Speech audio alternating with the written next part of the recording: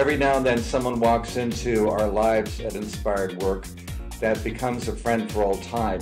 Uh, Larry Schwartz uh, weathered a really difficult transition from New York to Los Angeles, and over the last few years has become a guru in the technology field, as well as one of the great parents of all time. We're really delighted to share him with you. You just yeah. moved here from uh, New York, and our mutual friend Brenda, uh, Brenda Eddy. Yes. Long time ago. Oh my uh, God. Connected us. What happened?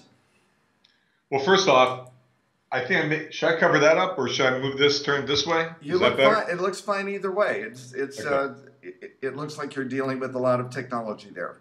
I am. Clean me up a little bit. Okay, a little deck. I, the funny thing is, I'm not even in conversation anymore with Brenda.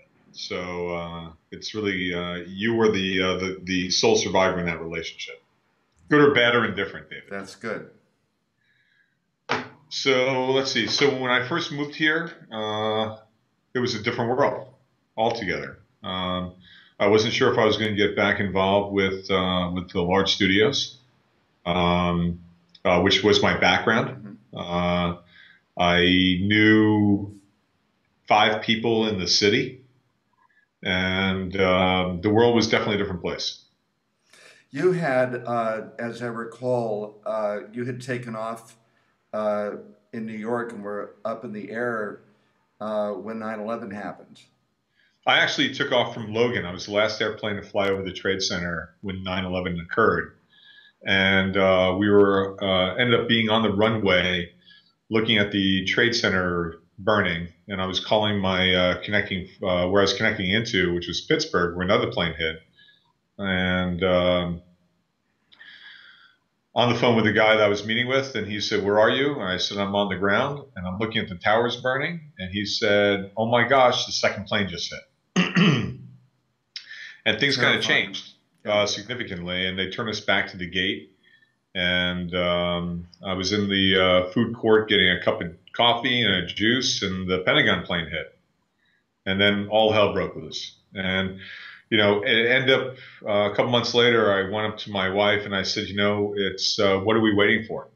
Because uh, we had talked about moving to California, and uh, uh, I went to my boss so uh, in February and I announced my resignation.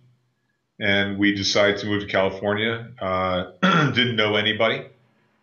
Um, uh, the the economy was falling through the floor, which we thought was going to be the worst economy to hit us ever. And ultimately, people weren't hiring ops guys, which was my background. my background was about, you know, how can I ensure that uh, a dollar coming in, you know, uh, you know, a, a, dollar goes out. You know, reduce costs, create efficiencies in companies. You know, with a background in Six Sigma, and I had to really reinvent myself when I came out here.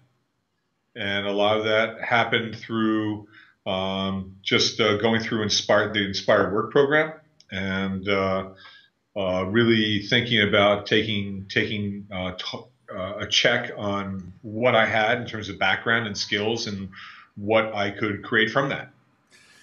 One of the I, I, was watching you every step of the way, and I think one of the lessons that you can share with people is that you did thoroughly reinvent yourself, and uh, and you you've you've developed into what I see as an auteur in the technology business, and and you've become a great salesperson. Uh, you have this great gift of driving technology along and and uh, getting people together and you've made a good living of it. What do you love about your life the most today? Oh, my family. Um, they, uh, I definitely define myself as uh, as a husband and dad. Um, uh, in fact, you know, and a bit of a mentor. I mean, I've kind of changed my my perspective on you know, uh, being a dad of teenage boys, it's uh, there's a there's a limit on what they hear from me. Mm-hmm. They like in terms of uh, the lesson, And so I, I couch my lessons now in terms of just business stories.